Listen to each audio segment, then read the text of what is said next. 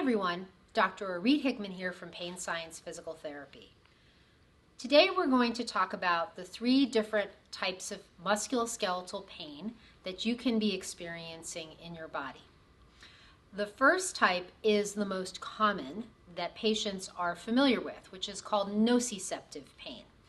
Nociceptive pain is pain that occurs in the tissues and if tissue has been injured. So, for example, if I step on something sharp, if I cut my hand, if you have pain in the area where that tissue is damaged, that is what we call this nociceptive pain. Typically, that pain lasts for anywhere from a few hours to up to three to six months, depending on the type of tissue injury. So, if you have a very severe injury, for example, you've torn a muscle, you've broken a bone, takes longer for that tissue to heal, so you might have pain in those areas for the duration of the time that the tissue needs to heal. But once the tissue is healed, that pain should go away. So that's nociceptive pain. The second type of pain, uh, which you also may be very familiar with, is pain that occurs if a nerve has been injured or irritated or has become hypersensitive. And that's known as peripheral neuropathic pain. And peripheral neuropathic pain occurs uh, in the nerves themselves. Typical symptoms are sharp, shooting, electrical, numbness, tingling. These are the types of symptoms and descriptors that patients will use. Uh, that pain usually will bother you when you're not doing a lot. So uh, the more that you're resting, even nighttime, those, those symptoms can be increased. Uh, nerve symptoms, peripheral neuropathic pain, is also pain that can occur for a period of time while a nerve is injured and then can also go away and should go away when the nerve has healed. The third type of pain that is not as familiar to most patients, uh, but is incredibly common, is called nociplastic pain. Uh, used to be called central sensitization. And this is pain that is produced by the brain uh, because the brain has gotten potentially in the habit of producing pain, or because there was an injury and now the brain is hyper responding to sensory information that's coming from that area. So a patient will describe pain that is disproportionate to the sensory input. By that I mean, for example, I do light touch on their hand, and the patient says that it feels very heavy, it feels very sharp, it feels very intense. Those are not symptoms or descriptors that you would expect if you do light touch on the hand.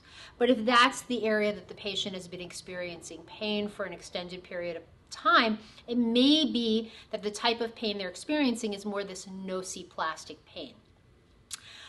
Because these pains are all different and have different causes, they have different treatments. The traditional physical therapy model of treatment, which includes exercise, manual therapy, uh, modalities. This is a very, very effective treatment approach for patients that are having nociceptive pain. Uh, you go to the gym, you lift weight, you feel something pop in your shoulder, and you go to have physical therapy. And they go through a series of exercises. They do stuff to mobilize the tissue and mobilize the joint. And typically within a few sessions, you feel better. That's nociceptive pain. It has a very predictable uh, symptom pattern to it and responds really well to traditional physical therapy uh, approaches. That second type of pain, which is your peripheral neuropathic pain, sometimes responds well to PT, but oftentimes would benefit from physical therapy combined with other approaches. Sometimes the right medication from your physician, uh, potentially more aggressive treatment approaches to really calm the nerves down in conjunction, so at the same time as doing physical therapy. And if you check out, I have a number of videos uh, on this YouTube channel for nerve glides, which are also very effective at calming down nerves that are very sensitized or have gotten very painful. This third type of pain, this nociplastic pain, is one that doesn't respond as well to those traditional approaches that we see with this more nociceptive or tissue based pain. And so you might find that you go to physical therapy, you feel better for a while, then you have a flare up. You go back into PT, maybe you feel a little bit better the second go around, but it's not as good as the first. You wait a little while, you go find another physical therapist, or maybe you go see an acupuncturist, a chiropractor, a different physician. You start round robining through many providers. These providers are all fantastic. What may be happening is they may not have diagnosed you correctly, and they may have said, This is a tissue based problem, so we're going to go ahead and treat this with a tissue based approach. At the end of the day, the correct diagnosis is incredibly important for you to have the results that you are looking for when you are treating musculoskeletal pain. So, these are the three different types of pain. Something to note is that you often are experiencing more than one of these at any one time. So you can be having tissue based pain at the same time as having nociplastic pain. The key for your providers to be able to definitively figure out what's the thing that's really bothering you the most right now and keeping you from progressing. Oftentimes, if patients are having nociplastic pain, we need to address that pain first and do a whole bunch of other types of treatment that might include education, uh, sensory integration, graded motor imagery, before the patient will be able to tolerate the more tissue based approaches of manual therapy and exercise.